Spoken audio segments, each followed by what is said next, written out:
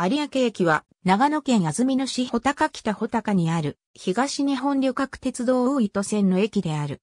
駅番号は31。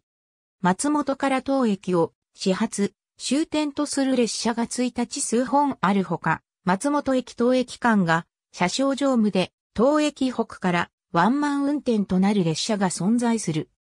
1980年代まではほとんどの急行列車が穂高駅を通過して当駅に停車した。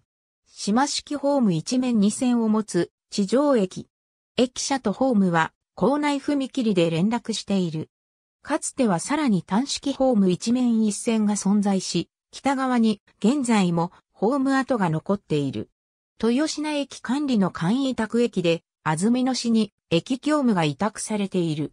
JR 東日本によると、2020年度の1日平均乗車人員は206人である。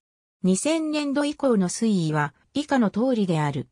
東口の駅前には国道147号沿いに住宅や商店が多い。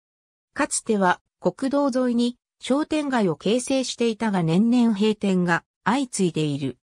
以前は夜行急行列車もすべて停車し、北アルプスつば九郎岳への登山口として夜行列車や長距離列車に接続して、中房温泉業のバスが発着し、早朝もタクシーが待機して賑わったが、中房温泉へのバスターミナルが、穂高駅に移されたことに伴い、長距離列車も停車しなくなった。